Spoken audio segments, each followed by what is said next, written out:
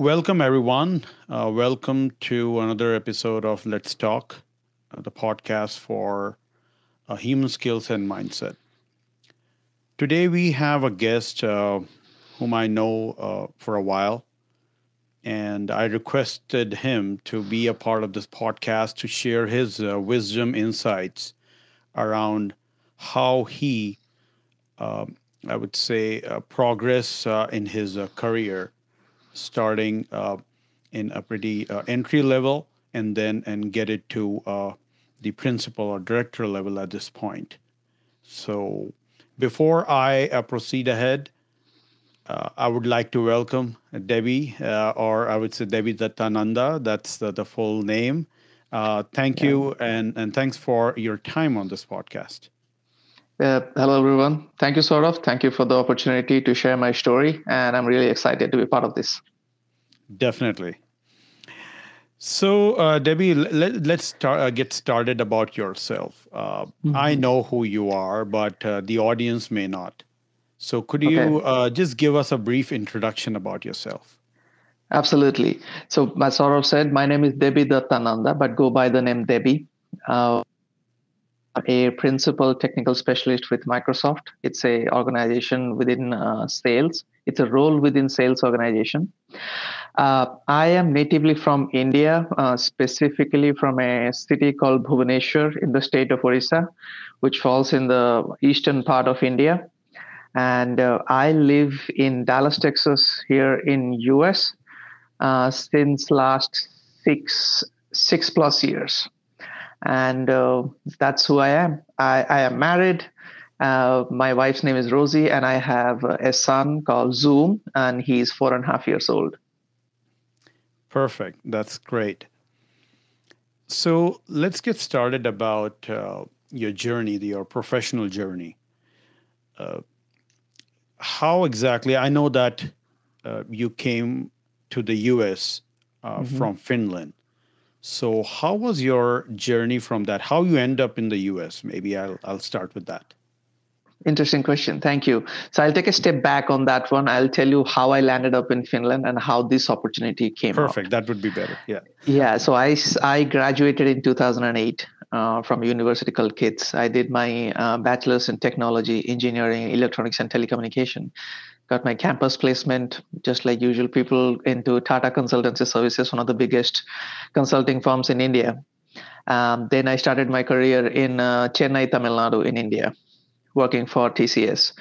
Then uh, after working for a year, I got an opportunity to go to on-site for my uh, customer Nokia, who are based out of Finland. Uh, that was my first out of the country trip. So I was really excited. I went there, worked for Nokia for from TCS for almost two and a half years. Uh, then I think the client was happy with my work and my persona, and think they think I am worthy enough to be an offer to come over to Nokia. So uh, I joined Nokia in 2012, April. Exactly after two years, I came over to Finland to work for them. And that's how my uh, journey started from there. Uh, in Nokia, I was a senior program manager for the, the Lumia lens, the Lumia camera application. Uh, all the camera that you see now on the Surface devices is basically the same thing. Um, Lumia phones, if you remember, the Windows phones in those times. Uh, so it's my team or we were the team in Finland who were making those phones. Um, then I worked there for almost two years. Then everybody knows that in 2014, uh, Nokia phone division was acquired by Microsoft. So we were some of the lucky ones who were chosen to be transferred over to Microsoft and be a Microsoft employee in Finland. Uh, so we were really happy. So my journey started with Microsoft, if I have to say precisely, in 2014 that's how I became a Microsoft employee and got my blue badge. In 2014, uh, I started working for Microsoft in the same capacity, and then as a senior program manager for the Lumia phones. And this, that was a very customer-facing, enterprise customer-facing role, uh, based out of Finland, covering the entire Europe. Uh, we had teams in US and China and India as well. Um, mid of 2015 um, there was a business decision made that the lumia phones division is going to be ramped down and eventually shut down so obviously we were the guys who were affected by that So um, we were given slots that these these are the slots that you will be uh, given your uh, resignation and then basically get the severance package and uh, good luck in your journey.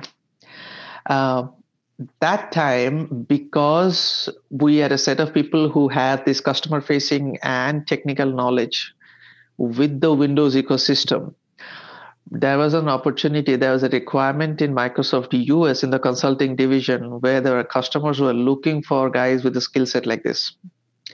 So the timing you can say was such that I was in the process of resigning from Microsoft, and then this opportunity came to me by my manager, like, Debbie, they are looking for people like you. Would you be interested to apply? I said, why not? I would like to keep my employment or continue my journey with Microsoft.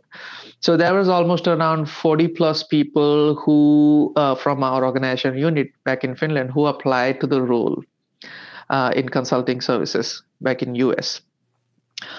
I was one of them. Uh, I went through the interview round because of time reference. It was like two o'clock in the night. You can imagine the anxiety that I had.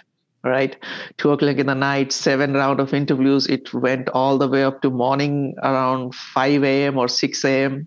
Finland time, and then uh, I was told by the last person the, that yeah, we will get back to you.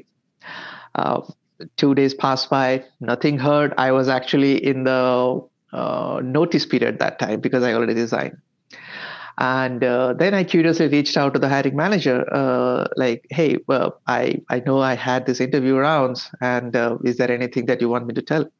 Uh, is there any update for me that I should be aware of?"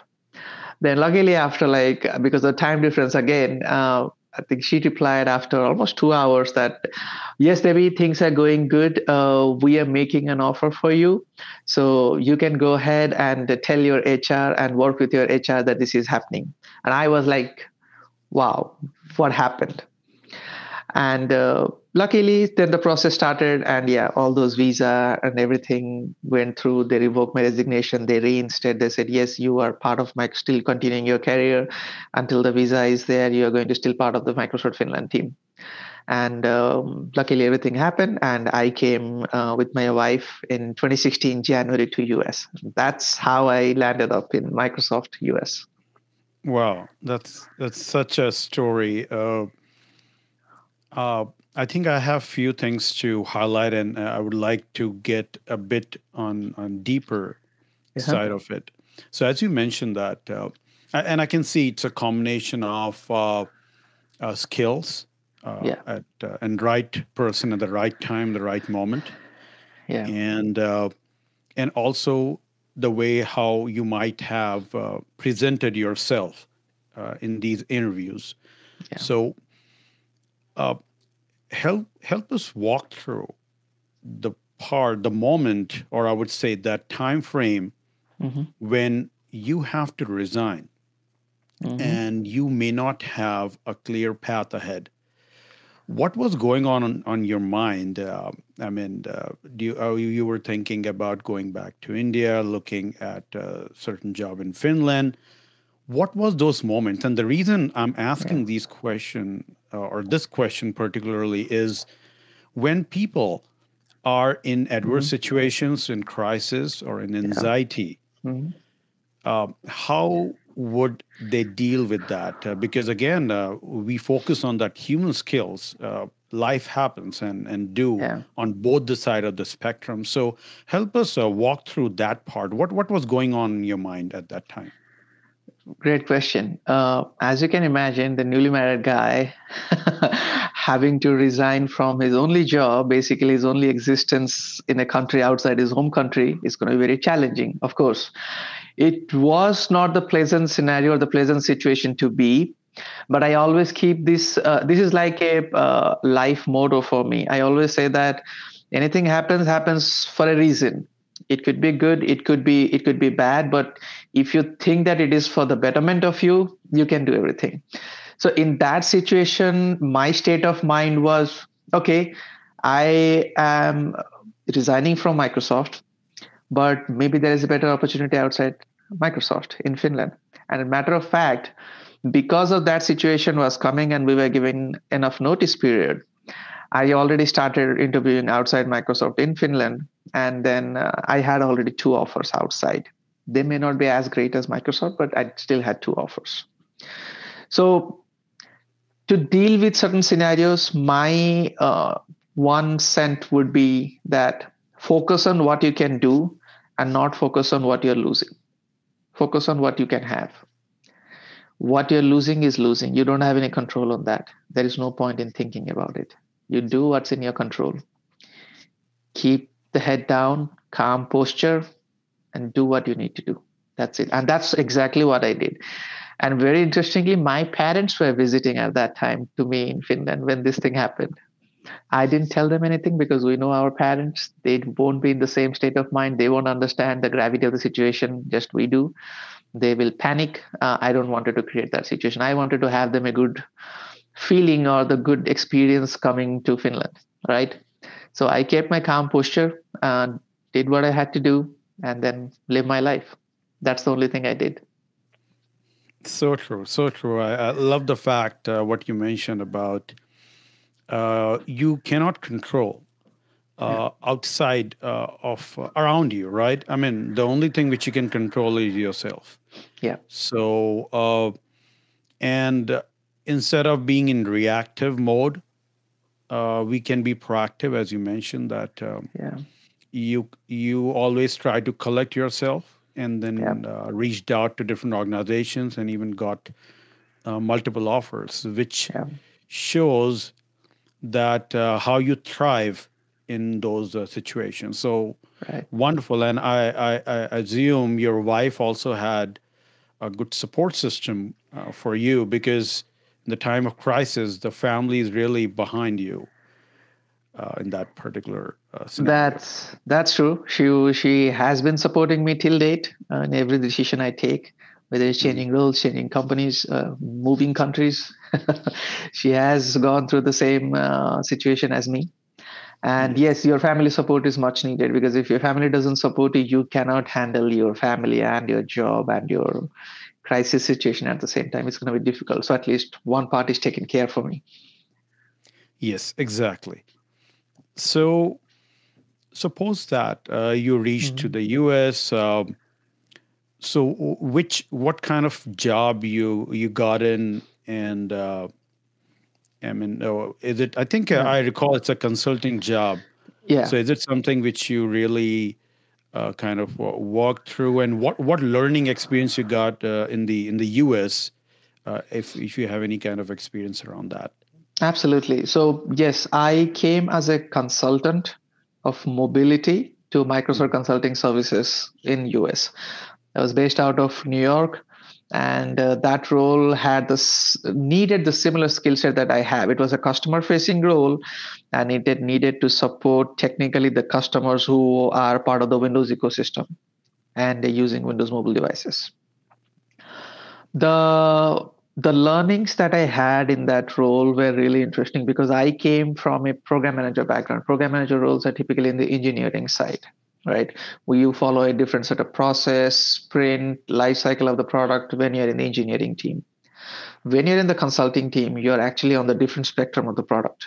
You are responsible for dealing with the customer issues. Dealing with the deployment make sure the customer's adoption is 100% and what they want from the product is what they're getting if there is nothing you are the bridge between the engineering and the customer that's what a consulting person does in Microsoft Consulting Services. And that exactly my role was. Mm-hmm. I learned a lot. I could utilize my Windows Phone learning and I could learn the mobility solutions that Microsoft provides for this Windows device management. Yeah. Okay. Perfect. That's great. Uh, and I think, uh, as you mentioned, that you had uh, uh learning about, uh, I mean, the previous learning and previous skill set yeah. did not just kind of uh, lay around uh, doing nothing. There's always a way out when you learn a particular skill and then try to improvise and uh, include that as a part of your subsequent skill set. Right. So, uh, in that case, uh, so you move uh, from Microsoft Finland, from Nokia, and and came here and then you start working in the consulting. Uh-huh. So are you are you still uh, the part of the consulting business, or you moved uh, from there? No, I, I, I actually moved uh, moved couple of roles. So, mm-hmm. in consulting, I came as a consultant, as an entry level consultant. Um, then uh, I got my first promotion after two years. Then I became a senior, and then uh, I got another promotion in eighteen months. That is another senior level two, as you can say, uh, in Microsoft. And uh, after that, I moved to another organization called Microsoft Fast Track Mm-hmm. Uh, Fast Track is uh, typically an organization which deploys all the Microsoft workloads that a customer purchases or customer license out. It's it's part of their licensing SKU. So in Fast Track, my role was a modern work architect, and I was responsible for the deployment, adoption, and consumption of the Microsoft licenses that the customer owns. That is a post-sales job uh, that gave me a good understanding of how Microsoft's licensing stack and sales works, what customer wants from Microsoft in terms of licensing and product set and etc. And uh, I did that for almost 18 months to two years. And then uh, I moved over to sales. Basically, from post deployment, I came to pre deployment or pre sales that's uh, what landed me in this role as a principal technical specialist. Uh, again, um, the best thing that happened with this one is uh, I got the promotion, uh, which we call from senior to principal. And principal is also a level of a director level in Microsoft. And uh, that's how I landed here. And uh, that's how I am today. Oh, that's that's great. Uh, so let's let's try to uh, discuss a bit more on this uh, because uh-huh. these are some of the commonly questions which people ask in any any organization about okay. Uh, about promotions and mm-hmm. and going to different levels. Well, promotion is definitely uh, one of the the way to show that you are progressing. Mm-hmm. Uh, there is much more deeper meaning about having a success in your life and success mm-hmm. is perspective i mean some people yeah. see as a kind of a promotion some people see as a uh, as a kind of work life integration yeah. and and and and some see a promotion as a part of uh, what you're following the passions and ambitions yep uh, in, in, your case uh, i know that you have got uh, promotions fairly quickly mm-hmm. which is uh, very inspiring because first, as you mentioned, that uh, you thrive under crises and, and and you have a certain mindset. So people who are looking forward to having these uh, success uh, yeah. metrics in life, w- what's your uh, can you just give us a kind of a maybe a brain dump or something? Like a mindset. What what helped you to uh, get these success in your life and moving to different roles? What is that inner i would say the core of your mindset uh, which really helps you to drive through uh, until now okay i will lay out in parts okay first the first part i would like to touch is uh, what was my mindset and how i got the promotion what was my approach so my mindset always from the beginning of my career was whatever i am doing I mm-hmm. should learn that quickly, deliver the best I can, and try to thrive or always thrive for the next level. Because the next level will be you want to do more. I always wanted to do more. That was my mindset. So every role, for example, when I landed in consulting, I wanted to understand what this consulting role is, what are the needed things from me as an employee and what are the things that i was expecting from the company to support me in my journey. Because you have the complete responsibility authority and potential to shape your career the way you want. Only you can shape it nobody else will. Eh, people can help you but you have to decide where you want to go. The second part is as you said like what people think what's the promotion criteria what are the things that they should be doing. You have to think whether you wanted to promote and go to the next level or you wanted to learn what you are doing to the extent that you can be pretty focused. You are like master of one technology and not jack of all trades and the third thing the most important thing is whether you are getting the work life balance or not or the mental peace or not in what you are doing whether you're liking or not so for me i always try to balance them I didn't want to overburn because I have a family. I want to support my family and time give time to my family as well. So I was lucky enough, and I was always looking for something that some roles that has good work-life balance. So for me, if I have to uh, describe my journey from a consultant consultant to a principal technical specialist, is any role that I was doing, I always work alongside my manager and ask the right questions, like what should I be doing, in your opinion, in this role to be successful? What should I be doing from day zero to go to the next level in terms of promotion? Because you need to uh, work, you need to perform at the next level to be eligible for the next level. That's what the criteria is. So I always did that. I always push myself to the limits, learn it, deliver whatever is uh, needed from me or whatever the measurement criteria for my performance and then do something beyond that the beyond could be helping others helping the organization helping the business and i always try to show this is just my philosophy i always try to show my impact in terms of dollar value because business runs on dollars if you can show your work or your impact in of dollar value hey i did that and this generated this much of revenue or this has saved this much of operational cost for Microsoft or for the customer that I bring in customer satisfaction back to Microsoft. That's what I always did. And that's what helped me in all these roles. And promotion could be uh, could be difficult in some scenarios, but I would say it's not uh, impossible. Why I say difficult is you don't want to be promoted too easily too soon so that you don't learn what level you are or you don't learn what work you are doing you always it's a good it's a good philosophy to learn what you are doing 100% and then go to the next level because you should be always be able to apply your learnings from the past role to the next role or the next level and uh, that's what has helped me and that's how i got promoted and that's how i approach the promotion Mm, that's that's great. So, few things to highlight what you mentioned, just to mm-hmm. make sure that people uh, comprehend those things as well, is to give you hundred percent uh, on in your existing role or existing position uh, before you ask for a level up in any. I mean, in any organization or any work, yeah. you have to prove that you have a right mindset, a, a way, a vision, and you can pull the thing uh, uh, things through in your existing position before you ask for the elevated ones. And at the same time, yeah. as we say that if you want to be a millionaire, you have to think like a millionaire. Yes. So if you want to be promoted to a next level, try to uh, perform the duties, responsibilities on that level so that you mm-hmm. can really justify that. And yes.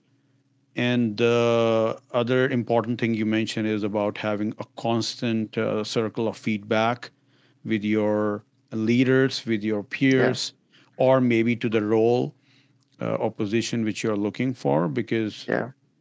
that way you get to know what it takes and and as you mentioned learning is so important uh, so we cannot be perfect so if we have that constant learning mindset, that mm-hmm. will also help you to grow uh, perfectly fine. So that's wonderful. Uh, so I would like to ask about, as you mentioned, reaching out uh, feedbacks and learning. How much importance you give to the networking? Uh, a lot of people have all the abilities to reach out, have all the capabilities, responsibility, clarity, but they still uh, would like to know that okay i have everything from what i have understood and i reached out to the people but still why i'm unable to make my mark why i always be left behind maybe an inch before reaching to that level. So for me i think it's like maybe networking one of the thing which is a part of it as well. What's your perspective on that? Great question. So when you said networking, I just want to clarify one thing that networking means growing your known people circle within and outside the company that you're working. That's what we're talking about when we say networking. There are a couple of things which I always keep in mind, or I would like to say, keep in your mind when you are trying to make an impact, trying to get a promotion, trying to advance in your career. First thing is you don't ask, you never get it. So you have to ask and work for it what you want. The second thing is make an impact of what you are doing. That means do it right, do it to the 100% of your ability, and you will be known. People will know you. The third and the most important thing, as we're talking about, is networking. Networking could be your direct peers, your peers within the organization, your peers outside the organization. The way you should or you should take approach towards networking is the people you are meeting in the office, in the meetings, at the customer side. They should know you for your work first. If you are going as a consultant, as a mobility consultant, people should know, yeah, Debbie is a mobility consultant and he's working for Microsoft and he's here to do this. That's the first step. The next step comes how you are delivering the stuff because your work should speak for yourself once you did that you try to make a connection to the people try to find some synonyms with your work and their role or their work. Try to reach out to the people and go with a learning mindset. Don't just go with the mindset that i know it all but go with the mindset that i, I want to learn it all. Try to learn from them. And that's how you build a network. The network you build is the only thing is going to persist and is only thing is going to be helpful if you want to advance your career because those are the people who are going to be your advocates going forward for example i speak to uh, saurabh saurabh is very good in his uh, security skill set when i came from mobility i wanted to learn from that so what I said, I I, I said it uh, of help me in understanding the security uh, products or the security offerings from Microsoft. That's how I approach. I wanted to learn. Don't be shy in saying that I don't know this. I want to learn this. Mm-hmm. Just be proactive. Reach out. Hey man, I think this is really good stuff that you're doing. Can I learn it? Will you be helpful in doing that? What should I do? What are the things that we needed to do to be successful? that's what I would say networking, in my opinion. Perfectly said. Yep, yep. It's it's important just to.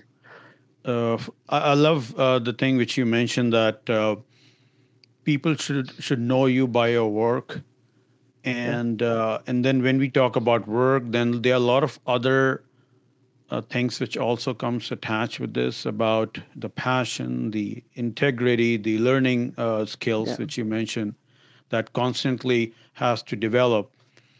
And uh, I'll also add that uh, to a part like to be humble. Uh, mm-hmm. It's for us, it's very easy to fall into the cracks of being an expert and, as you mentioned, that know it all, uh, which causes us to be a uh, bit on on the side of maybe I would say in some scenarios around the arrogance or yeah or not kind of uh, understanding or not properly empathize about what the other person is uh, going through and right. on the topic uh, it's a listening skills as well.